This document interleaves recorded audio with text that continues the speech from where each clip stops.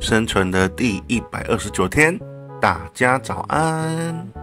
啊，今天我们打算回城了，那就从这个女巫刷怪塔上面的地狱门回家吧。关于今后的计划，我这边有个想法。哦，这是盖完这个女巫升怪塔以后啊，我觉得我们应该要赶快取得漏斗了。不过，如果要取得漏斗的话，就会需要非常大量的铁锭。那我现阶段取得铁锭的方法，就只能靠铁巨人塔慢慢生产了嘛。那也正因为没有漏斗的关系啊，就算有月灵的帮助，我也必须要将人物待在铁巨人塔附近哦，才有办法持续收集到铁锭哦。那我的想法是，嗯，也差不多要来盖自己的家了。啊我们住着那个村民的家，已经住这么久了，总是要有一个自己盖的家会比较好嘛。因为我们得到的物资越来越多，这个小小的家已经快要塞不下了。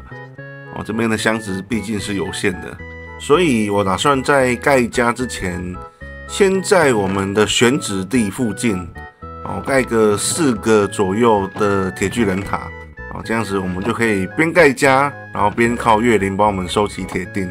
那等到我们做出来第一个漏斗以后，就在世界重生点那边盖一个铁巨人塔，哦，这样子才能确保以后不断的产出铁锭，这样子才能换到更多的漏斗。以后要做什么刷怪塔、什么农场，也都会比较方便。那既然要盖家的话，我会想要先把我裤子上面的迅捷潜行附魔，哦，先升到三级，哦，这样子我们在建设的话会更方便。好，那加上我有一个小小的实验想要做，我想出了一个轻松对付扶手者的方法。虽然我们在远古之城会先挖一个坑然后躲在里面，但是万一真的被扶手者盯上的话，我们要从里面用弓箭慢慢射他，其实要射蛮久的。哦，他的血量五百滴哈。哦，所以我打算靠铁巨人的力量来帮我们击杀扶手者。啊，辐射者有一个特性，就是他盯上一个目标以后，他就不会再转移目标了。哦，至死方休。所以我们要做的事就是吸引扶手者的注意，然后躲起来，然后把扶手者卡在门口，让他进不来。那当然了，就要在扶手者的旁边放一只铁巨人，来帮我们将他清理掉啦。那 既然要去找新的远古之城，哦，我的黑曜石已经不够了。我就先去地狱捞一些岩浆回来，把它们做成黑曜石吧。嘿，好，那就赶快把它们挖起来吧。这只效率式的镐子应该可以挖快一点了。速度还可以了，比之前效率二快多了。好，如果没有意外的话，这座地狱门会通往远古之城的上方。好，那我们就进去看看到底会通往哪边吧。哦，这里看起来是一座高山。那我先把这个地狱门给它拆掉，等我们在远古之城建立完安全通道之后，再把地狱门重新架在那个地方。哦，距离如果不要太远的话，应该还是会连接到地狱基岩上面那个门啦。如果真的不行的话，到时候再微调就好，这个问题不大。哦，出现了，这里就是远古之城无误。好，我现在有装备的鞘刺了。那我们挖下去的瞬间就往角落滑翔。哎，先到角落建立一个安全通道。好，就在这个地方。看来这里没有福林笑口，安全安全。啊，糟糕，我好像忘记带锄头哎。哇，没有锄头挖这个东西会很慢哎。不过无所谓了，这边的宝箱好像还蛮容易开到钻石储的。好，这个地狱门开好了，那就来进去看看它会不会正确的连接到地狱的基岩上面。哦，而且我也必须要再回家一趟，因为我忘记把铁锭换成铁砖了，这样是召唤不出铁巨人的。总是忘东忘西的，这年纪大了，脑袋不中用哈。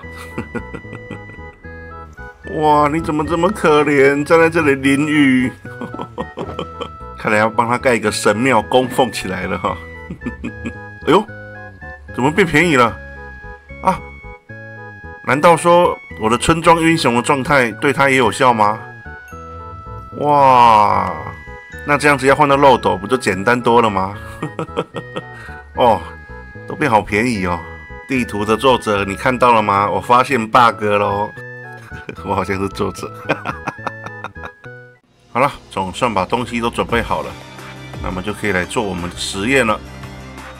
首先，我先把潜行改成持续潜行，我用切换潜行，然后在这里召唤出，哎呦，你跟过来干嘛？这里很危险哎！来来来，进去进去。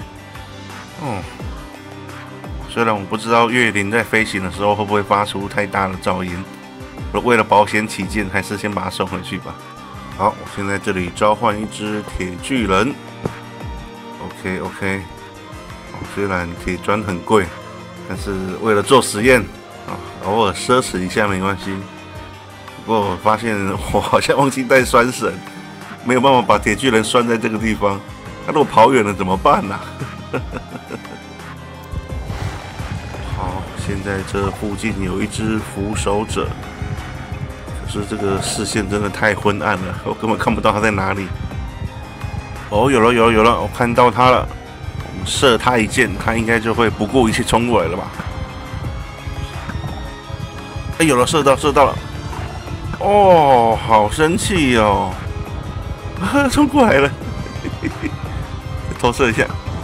嘿 嘿好，快跑快跑快跑！赶快躲到洞里面去。哎，来呀来呀来呀！打不到我嘞，来啊！哦，好痛哦！哦，有了，铁巨人在打他了。哦，虽然我看不到，但是听声音，捕手者一直在受伤。看来我们的方法奏效喽。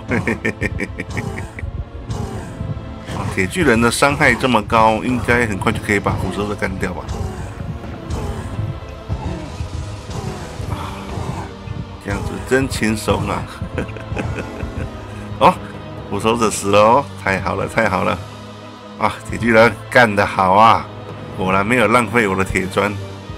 好，为了让大家更清楚的知道发生什么事，我再引一只佛手者过来，然后用灵魂出窍模组，哦，来观看外面发生的情况。好，来了，来了，来了。好，先躲到里面去。然后灵魂出窍，哎，哦，果然呐，单方面的虐杀。我说的一心只想要打我，根本不顾铁巨人在旁边帮他抓痒。